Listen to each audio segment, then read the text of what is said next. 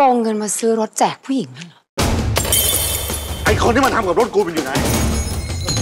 อย่าบอกนะว่าตามมาง้อผัวฉัน ถอยไปนี่โอ๊ยทำอะไรกันอะคุณดูเด็กคนนี้ให้ดีๆเลยนะ ไม่น่าจะธรรมดา ผมกลับมาที่บ้านก็เห็นเตี่ยนอนอยู่บนพื้นแล้วอะพี่ชาย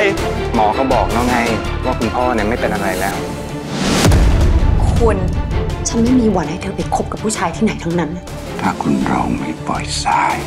นายก็หนีไปรากสิลูก แก้ว คืนนี้ 20 นาฬิกา 30 นาที ดูทีวีกด 33 ดูมือถือกด3 plus